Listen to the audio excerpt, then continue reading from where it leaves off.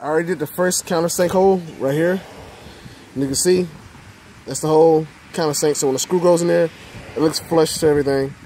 Um, basically, I couldn't see this one, so I went backwards and drilled here.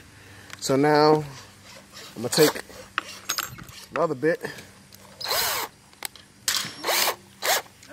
I'm gonna put the same thing going this way right here. So I gotta go slow with it. Because again, we're just trying to take a small layer out. Now try to go deep with it.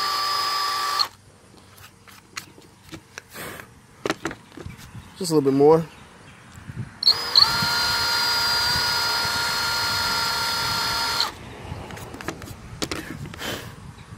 As you can see, got the same kind of sink hole. And ready to go. So once I screw it in, right here, call it a day. Alright, I'm gonna take some primer. I'm gonna hit it with some primer. I'm gonna sand, I'm gonna sand these down real quick so I can get smooth.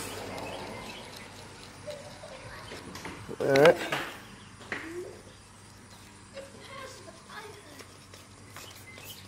Alright.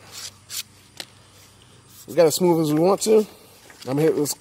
I'm gonna take a wet rag, wipe it down real quickly, let it, let it dry, and then I'm gonna hit some primer on it, and then we're gonna go. Alright.